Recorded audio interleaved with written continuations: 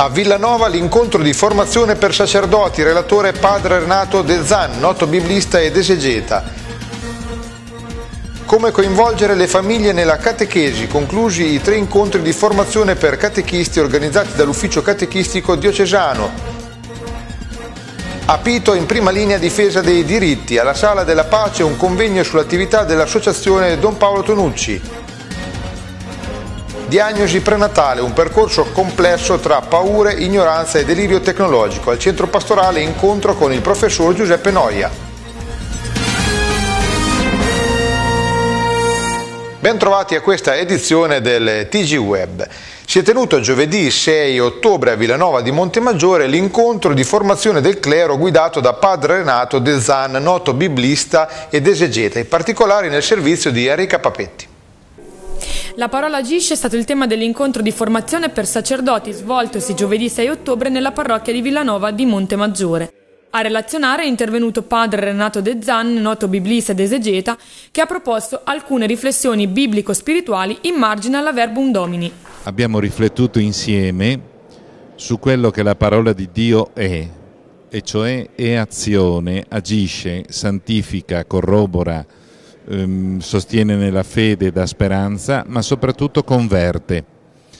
Ora noi abbiamo cercato di prendere questa strada di riflessione obbedendo a quello che Benedetto XVI ci ha detto, e cioè che la parola di Dio è sacramentale, e cioè è operatrice di salvezza in coloro che leggendola sanno come leggerla e soprattutto in coloro che la leggono con fede noi potremmo sintetizzare così quanto è stato detto.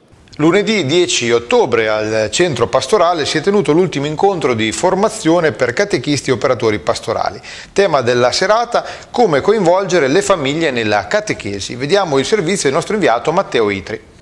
Serve un'alleanza tra comunità e famiglia, alla quale si intende affidare il ruolo di mediare tra questa e le altre proposte educative. Così si è espresso Don Mariano Piccotti, vicario pastorale della diocesi di Iesi, durante l'incontro diocesano di formazione per catechisti dello scorso 10 ottobre.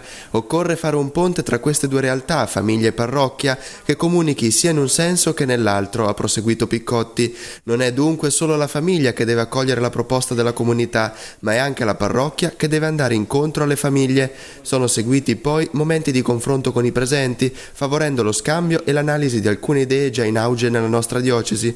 Non sono mancati nemmeno spunti da Don Mariano, che accompagnato da due catechisti della sua parrocchia ha illustrato alcune delle tante iniziative da mettere in piedi per coinvolgere i ragazzi assieme alle loro famiglie.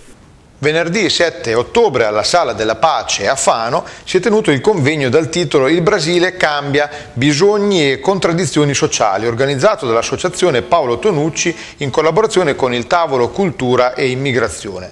Relatrice dell'incontro la dottoressa Celi Maria De Souza Silva, assistente sociale per il comune di Camassari e vicepresidente dell'Apito Brasile. A moderare l'incontro il dottor Roberto Ansuini che ha ricordato come l'associazione continua il suo impegno a favore dello sviluppo sociale della realtà brasiliana in un contesto in continua evoluzione, un impegno che si rinnova e guarda avanti cercando di cooperare con progetti mirati a sostegno dell'educazione e della scolarizzazione. A conclusione del convegno il dottor Ansuini ha annunciato che nel luglio 2012 si svolgerà il primo memoriale di padre Paolo Tonucci con l'obiettivo di recuperare la storia e i valori che il missionario fanese ha trasmesso all'intera comunità locale di Camassari. E cambiamo argomento un convegno per parlare di diagnosi prenatale. Venerdì 7 ottobre il Centro Pastorale Diocesano ha ospitato l'incontro dal titolo Diagnosi prenatale, un percorso complesso tra paure, ignoranza e delirio tecnologico. A relazionare sul tema il professor Giuseppe Noia, direttore del Centro Diagnosi di Terapia Fetale del Policlinico Gemelli di Roma. Noia ha focalizzato la sua attenzione sull'embrione che fin dai primi mesi di vita comunica con la madre e avverte tutti i suoi stati d'animo, a differenza di quanto molte volte si pensi vista anche l'informazione poco chiara in merito. E ora diamo un'occhiata agli appuntamenti della settimana. Domenica 16 ottobre alle ore 21.15 si terrà a Fossombrone nella chiesa cattedrale la seconda edizione della rassegna concertistica Parrocchie in Coro. Lunedì 17 alle ore 21 ad Orciano si terrà la lezione divina del Vescovo a catechisti e operatori pastorali. Vi ricordiamo inoltre che domenica 23 ottobre alle ore 17 nella concattedrale di Cagli, in occasione della giornata missionaria mondiale, il Vescovo Armando Trasarti invita tutti i catechisti e gli operatori pastorali della diocesi per il mandato dell'annuncio del Vangelo. Per questa edizione è tutto, l'appuntamento con l'informazione torna giovedì 20 ottobre. Grazie per averci seguito e arrivederci.